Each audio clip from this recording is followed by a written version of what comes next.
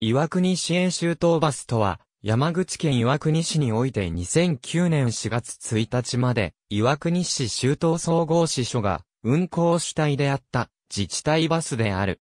運行路線の一部は、岩国市久我総合支所の所管地域にもまたがっていた。運営主体及びその所在地は、岩国市岩国市周東総合支所地域、振興課であった。再編直前まで以下の5路線を運行していた。再編時点で岩国市生活交通バスへと路線が継承されたか否かを合わせて記す。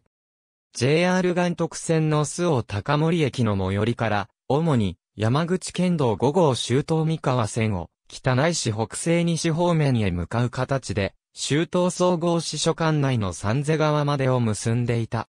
主に山口県道144号港久我線及び、山口県道142号久し杉高水、停車場線の近傍を経由し、周東総合支所管内の西部地域へと向かう。途中、JR 岩徳線、米川駅との連絡があったと思われる。主に、山口県道7号柳井周東線を経由して、周東総合支所管内の南部地域へと向かう。田尻行きについては、竹田バス停園において、他の山口県道等を用いた一方向、周回運行を行っている。おおむね、山口県道115号同立周東線や、山口県道70号柳井久我線などを経由して、周東総合支所管内の南南東地域へと向かう。テクノポート、周東バス停付近において、久我総合支所の管轄地域を運行する。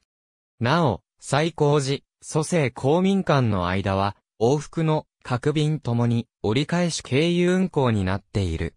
これは、運行路線の設定上の都合によるものと推測されるが、詳細な背景理由は不明である。国道2号及び国道437号の近傍を通って、周東総合支所管内の南東地域へと向かう。JR 岩徳線とは、周防高森駅と久我駅で連絡している。周東総合支所による運行でありながら、全区間を運行する便と久我駅バス停発着の末、元行きの運行便の本数が、ほぼ同数である。また、中村バス停において、天根県線の蘇生公民館前バス停と、相互の理解ができる、路線設定がなされている。岩国市生活交通バス条例の制定不足に、周東町営バスの運行根拠となっていた、周東町営バスに関する条例を廃止する、旨の記述あり、道路や地名等の確認のために補助情報として、用いたサイト。ありがとうございます。